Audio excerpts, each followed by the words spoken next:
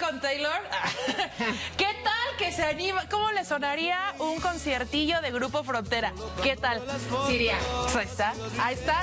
Si no va ahí con Taylor, ¿qué tal está este? El próximo 15 de septiembre. Y mi querido César ya está, ya está formado. Imagínense. César, falta mucho, no te vayas a formar, espérate. Amiga, yo ya estoy formado desde aquí, del frente del asta bandera, porque por supuesto ya nos lo dijo el presidente Andrés Manuel López Obrador en su mañanera, que Grupo Frontera va a ser uno de los principales grupos musicales que van a tocar a miles de capitalinos el próximo 15 de septiembre. Y por supuesto, pues digo, como cada año, pues nos presentan diferentes actividades culturales previo pues al 15 de septiembre, pero pues ese mero día tú sabes que toda la Plaza de la Constitución se llena de las quienes desean evidentemente pues estar frente a su grupo favorito, en este caso pues este que le está rompiendo, por supuesto que es Grupo Frontera.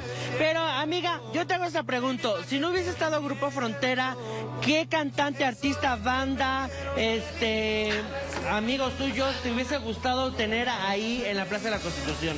Este, pues mira, ya no está, ya Cuepedió Cerati, ¿verdad? Pero, este, híjole, banda al recodo, se armaría un desgarriate de Dios es padre, ¿eh?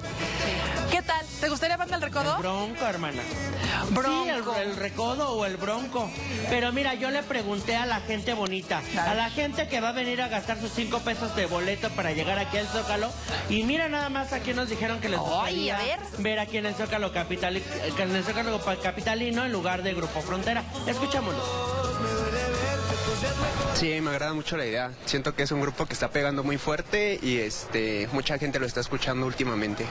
Me parece bien, pero siento que no ha marcado como tal todavía la música mexicana. Como lo hace Luis Miguel ya es una parte muy importante. Pues porque creo que es lo que más está sonando ahorita.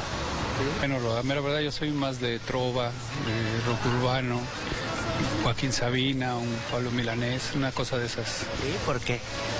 Pues me gusta más ese tipo de, de música, como que la de ahorita no, no me llama la atención mucho. Eh, pues es que le puedes bailar a brinquitos o pegaditos. No, bueno, el de Trova sí se la bañó. Mi querido César, te mando un beso grande, cuídate mucho, apártame un lugar, ahorita le caigo contigo y hasta 15 de septiembre nos formamos, ¿cómo no? Ahí te traes el café y una torta, hermana. Aquí Cuenta te con espero. Y arriba, Grupo Frontera. Bye.